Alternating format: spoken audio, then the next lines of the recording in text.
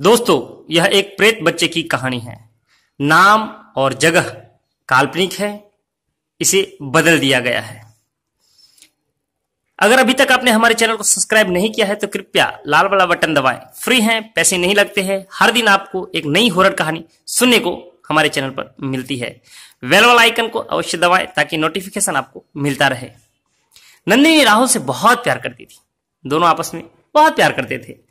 दोनों एक दूसरे को टूट कर चाहते थे हमेशा मिलने का बहाना ढूंढा करते थे। कोई ऐसा मौका नहीं था जिसे वह छोड़ना चाहते थे। परंतु दोनों के घर वाले तो इसका खिलाफ किया करते थे। दोनों का मिलना उनको पसंद नहीं था और दोनों पड़ोसी थे इसलिए मिलना उनको पसंद नहीं था। जायज़ भी था कि पड़ोसी में प्रेम संभव नहीं है और वो भी रिश्तेदार थे, सगे। तो थोड़ी सी बात खटक रही थी उन लोगों को। एक दिन जवानी का जोश था। दोनों बहक गए। शारीरिक संबंध बन गया दोनों का। पाँच छह महीने तक तो सब ठीक ठाक था, कोई समस्या नहीं हुई। पर छठवें महीने के बाद, जब पता चला नंदिनी को माँ को, नंदिनी माँ बनने वाली है तो घर वाले काफ़ी परेशान हो गए। क्यों ना हो? बदनामी होगी। क्या करे? पूरा गाँव उनको थू थू करेगा। तो उन्होंने एक फैसला लिया कि इस बच्चे को मार दिया जाए। रात में उन्होंने नंदिनी को दवा खिलाई और बच्चे को मार दिया। घर के पीछे नंदिनी की माँ ने उस बच्चे को दफन कर दिया। नंदिनी की जल्दी जल्दी शादी करवा दी। नंदिनी अपने ससुराल चली गई। सब कुछ ठीक हो गया था।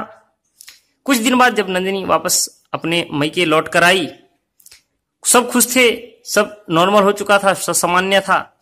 एक दिन माँ ने घर के पीछे किसी बच्चे की रोने की आवाज़ सुनी तो सोचा कि शायद कोई बच्चा होगा, देख कर आती हूँ।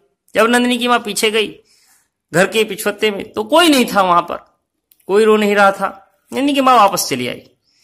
ऐसी घटना रोज घटने लगी। कभी कभी रात में भी बच्चा बहुत रोता था। और आस पड़ोस में कोई बच्चे भी नहीं थे। नंदिनी के माँ के जो बच्चे थे, वो पाँच वर्ष के थे। जो नंदिनी का भाई था, वो पाँच वर्ष का था। वो काफ़ी बड़ा था, ऐसे रो नहीं सकता था।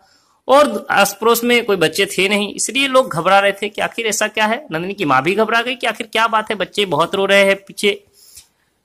एक दिन नंदिनी का भाई पिछवत्ते में खेल रहा था घर के पिछवाड़े में। एकाएक वो बेहोश होकर वहीं पर गिर गया।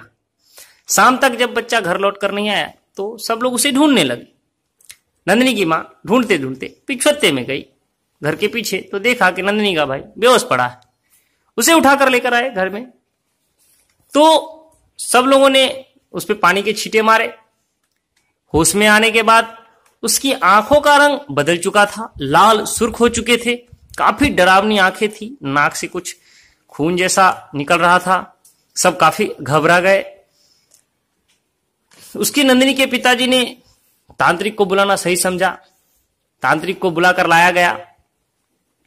तांत्रिक ने गंगा जल मंत्र उस बच्चे पे फूक कर मारे और उससे पूछा, बताओ कौन हो तुम? यहाँ क्या कर रहे हो? बच्चा सिर्फ़ रोता रहा, कुछ नहीं बोला। नंदनी वहाँ खड़ी थी सामने। वो बार बार नंदनी की तरफ़ देख रहा था और सिर्फ़ रोए जा रहा था। नंदनी काफ़ी घबरा गई। धीरे धीरे वो बच्चा नंदनी की तरफ़ बढ़ने लगा चलकर। सब लोग घबरा गए। नंदिनी के पास जाकर वह पेड़ के पास लिपट कर काफ़ी रोने लगा। खूब फूट फूट कर रो रहा था। तांत्रिक कुछ समझ गया। उसने बच्चे पर मंत्र मारे और एक बोतल झोले से निकालकर कुछ मंत्र फूके। एक सफ़ेद सी चीज़ बोतल में समा गई। उसने ढक्कन लगाकर नंदिनी को हाथ में दे दिया बोतल और नंदिनी से कहा, तुम इसे चार रास्ते के बीच में दफना देना। कोई सन्यासी पुरुष, कोई ऐसा पुरुष जो देव का दूत हो वो अगर इस पर पैर रखे गए तो इसकी आत्मा को शांति मिल जाएगी, क्योंकि ये प्रेत आत्मा बन गई है। किसी ने इसकी अकाल मृत्यु कर दी है। तांत्रिक को समझते देर नहीं लगा था कि कुछ तो ऐसी बात है जो इस बच्चे के साथ घटी है।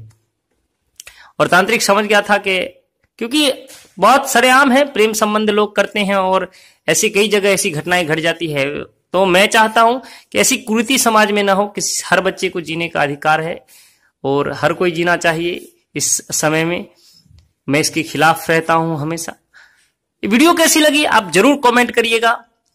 हमारे चैनल को सब्सक्राइब करिए शेयर करिए इस वीडियो को और प्रेम करें, ठीक है, लेकिन इस प्रकार की घटना प्रेम के साथ नहीं होनी चाहिए या किसी बच्चे के साथ ऐसी घटना नहीं होनी चाहिए। वीडियो कैसी लगी ज़रूर बताइएगा। तब तक के लिए हमें आज्ञा दे।